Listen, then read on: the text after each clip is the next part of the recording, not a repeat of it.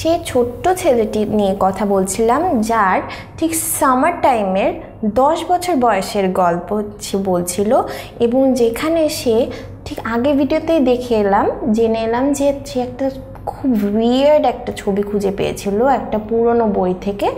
এখন দেখা যাক সে ছবিটা পেয়ে কী করছে।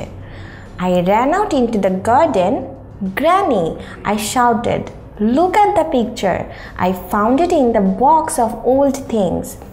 Whose picture is it?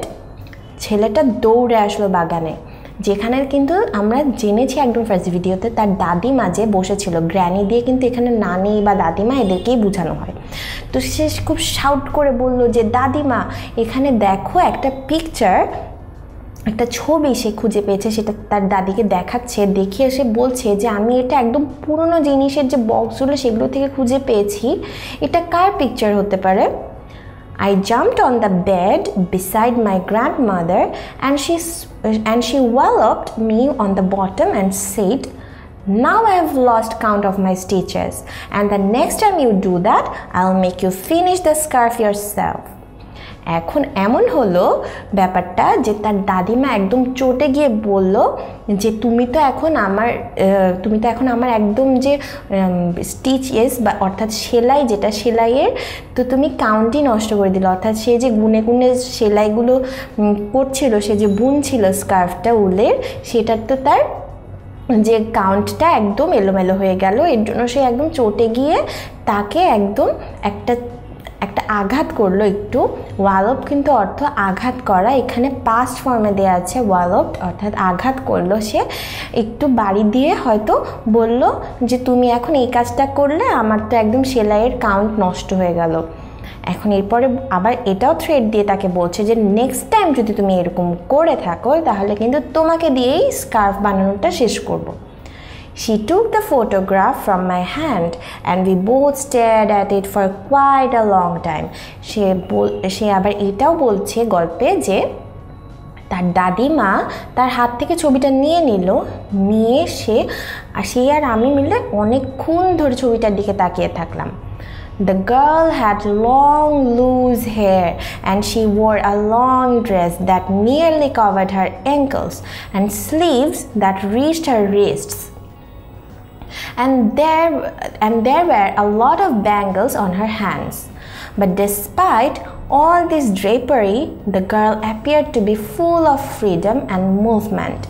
She stood with her legs apart and her hands on her hips.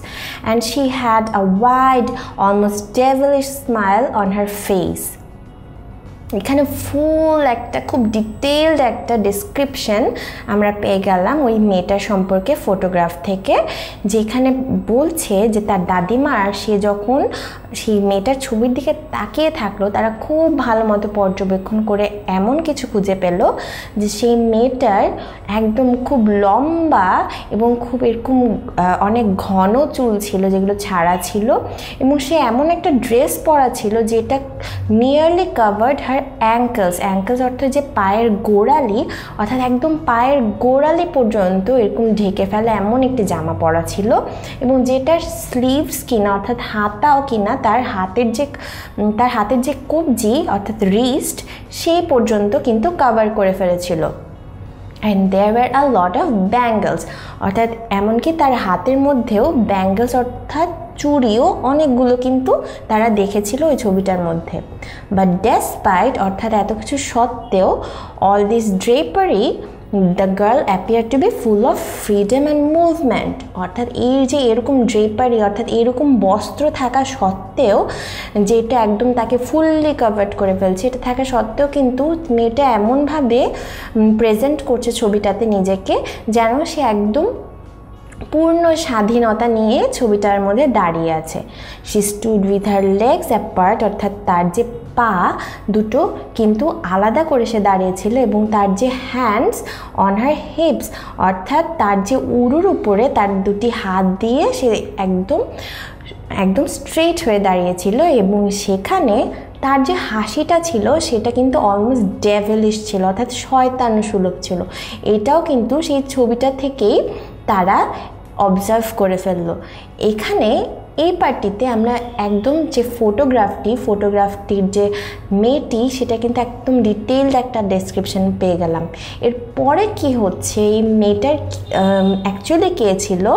সেটা কিন্তু জানার জন্য আমরা পরের ভিডিওতেও আশা করছি তোমরা আমাদের সাথেই থাকবে এবং যে কোনো ধরনের কোয়েশ্চেন থাকলেও কিন্তু এই ভিডিওরই কমেন্ট সেকশনেও জানিয়ে দিতে পারো।